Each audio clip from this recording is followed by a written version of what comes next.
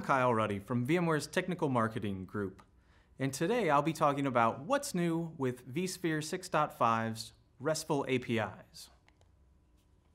So we are transforming the vCenter APIs, making these APIs more developer and automation friendly. So if you didn't already know, vCenter 6.0 actually had a RESTful interface. However, it only worked for content library and tagging. Well, we've actually extended that into VM management as well as VCSA management. It should also be noticed, noted that this is not just a SOAP to REST conversion. This is all about taking those SOAP APIs and making them easier to use, as well as making them function better and more consistently. We're also taking these automation tools and making them fully featured and easy to use, easy to integrate with.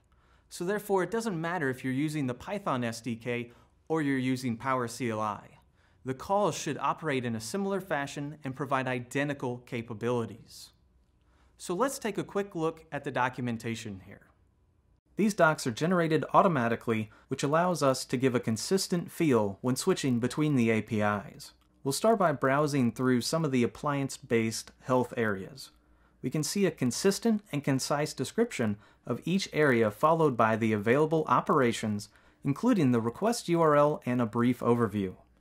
Clicking on the GET operation for the appliance management service, we can see even more information, such as an example of a response in both JSON and XML formats, what the responses mean, and what potential error codes mean.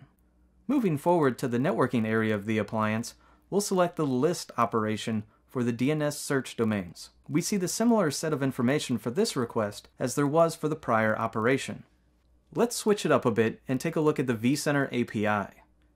Taking a look at the GET operation for vSphere clusters, we can see the consistency in action. Even on a different API, we see the same sets of information in the same formatting as the prior API. Lastly, let's take a look at something that's a bit more verbose. How about the list operation for VMs? Here we can see the usage of filters, as well as all of the information we're now used to seeing. Another key point for these new APIs is consistency. No matter how you choose to access these APIs, the request string and the output is consistent. We'll start by performing a request against the endpoint itself by way of the API Explorer.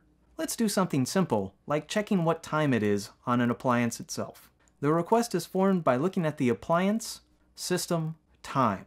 Click the Try It Out button to perform the request locally on the endpoint, and we'll receive some great information like an example curl statement, the request URL, and the response itself.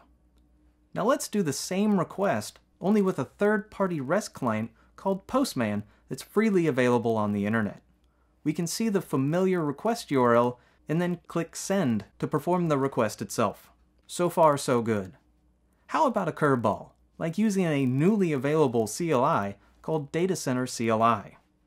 We drop in interactive mode and then enter that familiar request string of system, time, with the get operation, while also noticing the fantastic tab complete capabilities.